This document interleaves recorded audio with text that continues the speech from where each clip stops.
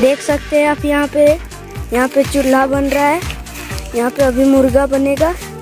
देख सकते हैं।